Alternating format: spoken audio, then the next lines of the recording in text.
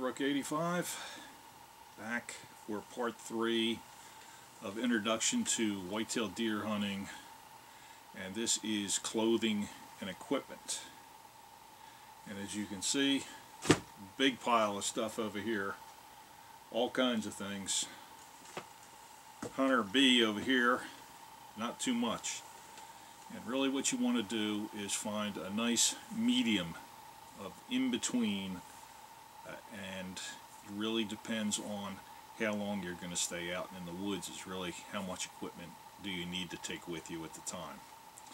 Uh, there's a couple basic things that you absolutely do need and really for this series I'm going to concentrate on firearm season or seasons and that either means a rifle which we have over here shotgun that we have over here first thing that you need is your license and uh, that's the biggest thing that you need uh, when you're going out there uh, because that's going to give you permission to hunt on whether it's private land, state land, state parks, state forests, federal land.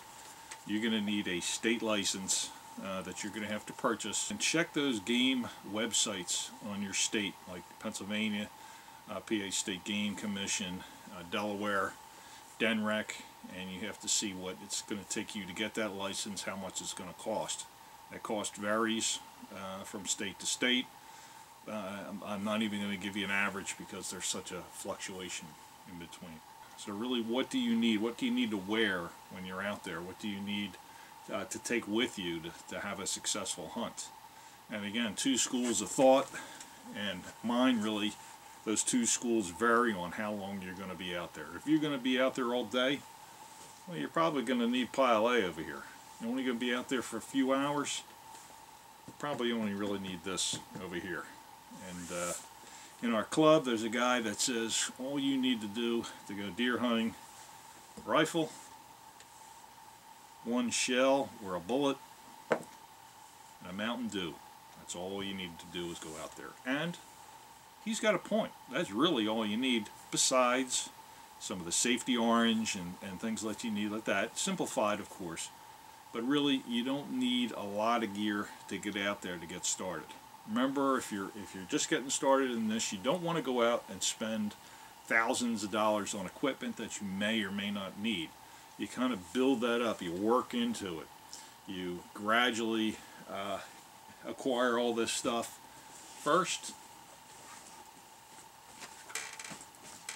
again, most likely you're going to need your orange hat because uh, again most of the states require that you have at least 300 inches of fluorescent orange which even though this is camouflage uh, has the camouflage pattern it does count as fluorescent orange on your head chest and back.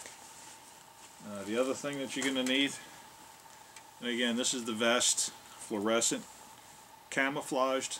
You're going to need to have this on, especially gun season. Now bow season, and again I'm really not going to get into it, you don't need it, but gun seasons, firearm seasons, you're going to need your orange, your chest, back, and head. I like taking a headlamp out with me. Uh, so when I'm coming or going out in the morning, coming in in the evening, I have the headlamp on. And this one actually a few colors but I like it red headlamp because they say red doesn't scare the deer as much as a, as a white light will. Now, you're going to be making noise out there, you're going to be crunching, kind of going in in the morning, but uh, having the red, uh, it's just one of those things. I like to have it. So a, a flashlight, a headlamp. A headlamp, again, is nice because then you can, you can carry your, you know, depending on whatever you take with you, your firearm, uh, your bottle of dew, you can carry those a little bit easier. Everybody knows how to dress really uh, for cold weather. Uh, is it uh, is it uh, very cold out there? Do I need to dress in layers? Do I need insulated un underwear? Do I need you know heavier jeans? Uh, do I need maybe a vest under my jacket? And you're pretty familiar, I'm sure, on how to dress in the cold and how to be out there in the cold. So I'm not going to go too, too far into that. But, you know, as they say, dress in layers and uh, just make sure you have enough stuff. And when you're walking into the woods, don't pile everything onto you. Don't have like six layers on you and you got to walk a mile to your stand and by the time you get there you're drenched in sweat and then you sit there and all of a sudden you start cooling down and you start freezing again. So kind of dress right, that insulated stuff. Uh, sometimes I'll wear the kind of the tech gear that they have out now so the, the perspiration wicks away from your skin a little bit. I think that's really what you want to go ahead and, and kind of look for. Some type of uh, some type of insulated underwear that keeps you keeps you warm and again wicks that sweat away from you again that perspiration. Uh, and again, I'm not going to go everything into everything that I have in here. Hey, hold on a second. Hold on just one second. You want to see everything that's in this pack? You want to see everything that, that I take out there when I'm going from dusk to dawn? Do have a video out there. Uh, basically, same spot down in the basement. I go through all that stuff, everything in the backpack, everything that I take with me uh, out there. Uh, the only thing is, I'm wearing sunglasses in the in the video and I'm in the basement here so try not to give me uh, as much grief as everybody else that's uh, watched that video does but uh, if you really want to see an expanded thing on everything that I keep in that pack and why when I'm out there all day it's certainly out there for you. I think one of the things between the rifle your your cartridges and the dew is a knife. You always want to have your own knife with you. If you do happen to harvest a deer and somebody goes ahead and does that gutting process for you the first time, you don't want to say, can you use your knife? Get yourself a nice quality knife. Again, that the blade isn't too long. This, I don't know, it's probably three and a half inches at the most. This blade, this is a solid knife. This does, it's not a lock knife. It doesn't fold. Uh, as far as whitetail, this is as big a knife as you would ever possibly need. Here's the uh, rifles and again there's not that much difference between the style of these two it really depends on the regulations in your state whether you need to have a rifle or a shotgun. The bolt action meaning this is on safe and of course it's unloaded. Basically that's how you load the bullet into it. It has a magazine that would go up in here. Your cartridges would feed up through that and into your barrel. And as, and as you can see this is this is a uh, 308 caliber. This is a 30 caliber bullet 308 basically a military round. And I got it just because it's a good round to, to carry and uh, just the availability. There's always 308 rounds around. Anything I think from probably 24 25 caliber on up is a good good caliber to have. There's a lot of things out there on YouTube and Google that will explain the caliber and the different size, uh, what that means. Uh, the higher caliber, basically the bigger the diameter of your bore is going to be. Uh, again, this is a shotgun, 20 gauge, Savage 220. I have videos out there on that. And again, it's the same thing, works the same way, bolt action, and slide your basically in this case your shotgun shell up from the magazine here's the magazine for this one the shotgun shell. It will slide that up in into the barrel be ready to fire. And I'll get into a little bit of safety on our next next course. I'll probably have these back out again. Uh, clothing wise I have this on. This is the, again the digital that uh, kind of came out the same same time that did, reach over here for a little bit more. A Few examples. Some of the some of the nice clothing. I think this is from Cabela's. Uh, I always like this because there's a fairly good contrast between the lights and the darks and the camouflage. Now, again, starting, do you need camouflage? You can go out there in a nice brown pair of khakis, maybe a brownish t-shirt, black, uh, not t-shirt, but jacket and things like that. Make sure you have your orange. But, uh, so, do you need it? No, but this is just one of those things. Remember deer see in black and whitish, sort of a, a black and white tonish. They don't see in full color. Uh, so basically what you're trying to do is sort of make yourself invisible, break up your outline. And again, this, uh, this one from Cabela's kind of does that nicely. Here's an, just another color. And I think this is, I think it's like bottomlands or grasslands. It's kind of a little bit more for duck, but it, it works well for, uh, for deer too. Uh, you can see it's not quite as broken up as the last one was. And uh, the last is kind of your uh, typical camouflage that you'll see. Most guys have something that's going to look about like this. These last two items, these last two things, got them at the Goodwill, two bucks a piece. But that's where you want to find some things, things like that. You want to go to thrift stores, you want to check your Goodwills, you want to check yard sales, uh, you want to check end of the season sales. Another thing, here's some uh, camo pants. And again, these are thin layer, a little bit warmer weather. Uh, but this would probably take you down to about uh, 35 degrees and be comfortable with maybe some uh, some nice long johns underneath. Got these end of the season just a few weeks ago at Walmart for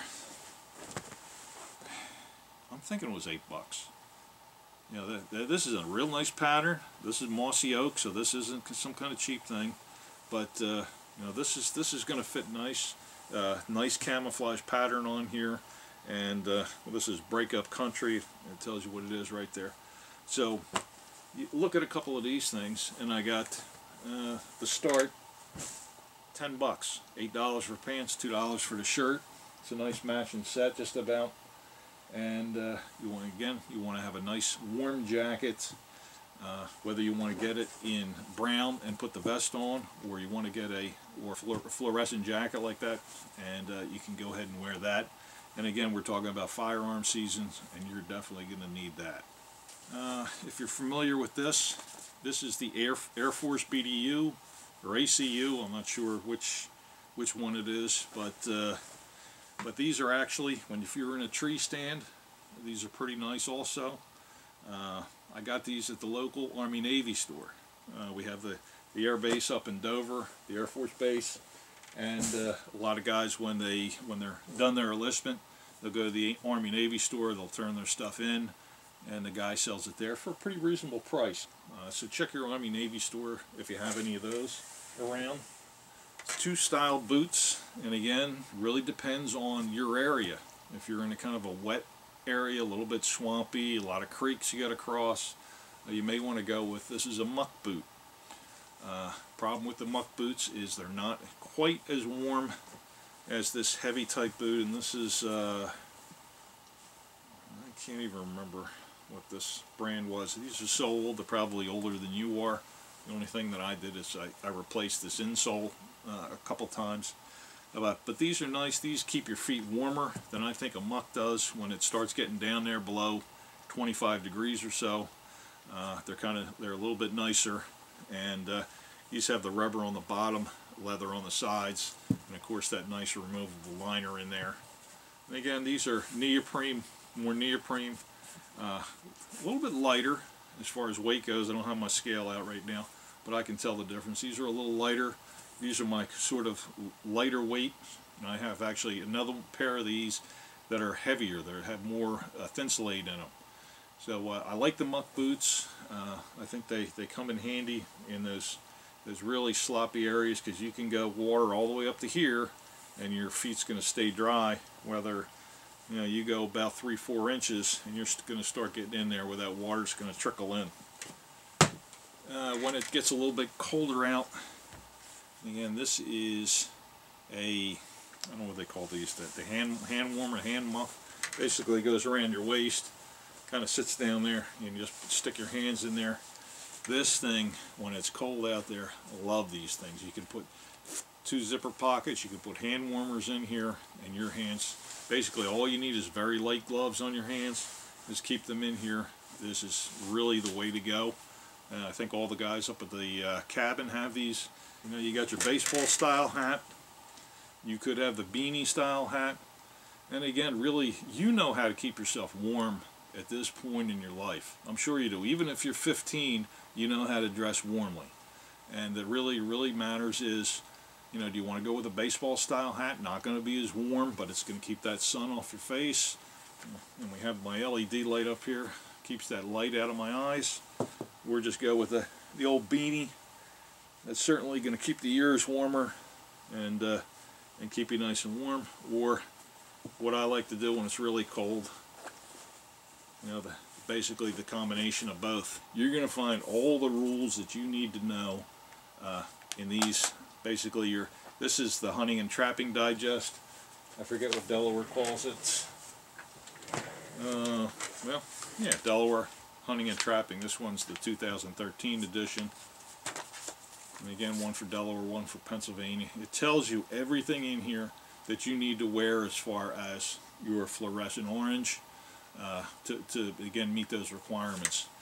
And if a game warden sees you without it, he may, and he probably will, uh, give you some type of ticket uh, for not wearing the proper orange in the woods. I got a lot of videos out there on the rifles, shotguns, on my channel. Uh, again, I, I, think I have two parts on this Savage. Really going to tell you everything that you need to know. There's tons of videos out there. Uh, I don't really, I have one, you know, a couple maybe shooting this, but not uh, not really explaining it too much. But it's a Browning A-Bolt Savage. This is a Savage 220. Uh, but go out there and explore some of those things. And that's what you're going to do when you're talking to people who you want to go with. And again, you don't want to spend a lot of money right up front. And you may say, hey, can I borrow something? Are you a shotgun only state like Delaware? Are you a rifle state like Pennsylvania? In most sections of it, there are some sections where you do have to use a shotgun in Pennsylvania. But check those rules. Don't buy a lot of stuff initially. Again, try to borrow a firearm and the one thing you have to do, get out there at the range and you got to shoot, you got to shoot it, you got to shoot it, you got to shoot it until you feel that you know everything about it, that you're comfortable shooting, and you can put those every shot. And most deer shots at, again, our states are probably from 30 to 75 or 80 yards. So if you can put your shots in an area like this at 100 yards, you're going to be perfectly fine. You're going to be perfectly fine. So get out there and borrow that firearm, get to the range, have some proper people with you that's instructing you on how to use this particular firearm, and get out there and shoot and shoot until your shoulder starts getting sore, and then go out a few weeks later and go ahead and shoot some more. Uh, very important that you know your firearm, you know your equipment. Uh, we're going to get into uh, the shot in, in I think uh, two chapters coming up. Very important that you place that shot in the correct area on the deer. So get out there and know your equipment. And as far as all the other stuff, the clothes, and again, as long as you're meeting the, get out of here, as you're meeting the fluorescent orange requirements, you can have whatever clothes on you want. There's a lot of things as far as, you know, people say that oh you can't have certain clothes because deer deer can see them easier. You know it really depends whether you're in a tree stand if you're in a box blind which a box blind most of the time it's going to be all the way around you. Uh, you know basically you're going to just your head sticking out so the deer's not going to see what clothes you're going to have on. Uh, so so start easy. Again go to your thrift stores go to your yard sales go to your Army Navy, go to the Goodwill, sales at, at places like Walmart and uh, Tractor Supply and a few of the other places, uh, Cabela's and Dick's and all that end of the year type sales. I know that stuff is kind of just going off now, but you may be able to find some of it. And at this point should be marked down pretty good. Get yourself a nice sharp knife is one other thing that I'd like you to take with you uh, when you're out there. And again, do you need to take that when you're in the woods? It depends how far away from the car you are, uh, but you could take it with you. And uh, get yourself a nice type of headlamp. This is an Energizer, I think, that I got from Walmart. Uh, I have some nicer ones, some um, some nicer type flashlights that are out now, but I like this with the red. And uh, get yourself a nice headlamp, and uh, really, that's all you need as far as clothes and equipment. Again, you know how to dress, you know how to keep warm, you know how to layer up. Uh, as far as rain goes and all that, you know what you need. Keep it simple at first, and then build the stuff up Again, I got clo- closets full of, of camo clothes that I collected over the years. Uh, one point I do want to add, if you smoke, if you were a smoker, uh, and you're driving to the site, etc., you want to have those clothes in type some type of container that they'll stay smoke free. And again, scent control, we'll get into a little bit of how we hunt, but you want to have a container. There are some special bags that you can have that'll keep those things scent free. And then once you get to your spot, you really want to get dressed in that. If you don't smoke, it's not quite as important. There are, some guys that always keep this in there and they always get dressed when they get to the site. Uh, I'm not quite a stickler on that, but if you are a smoker, uh, you definitely want to keep your clothes separate and out of the smoke. Keep it simple. That's the biggest thing that I can say about clothing and equipment. Well, this is White Rook 85 signing out uh, in the basement today. Uh, everybody have a good one.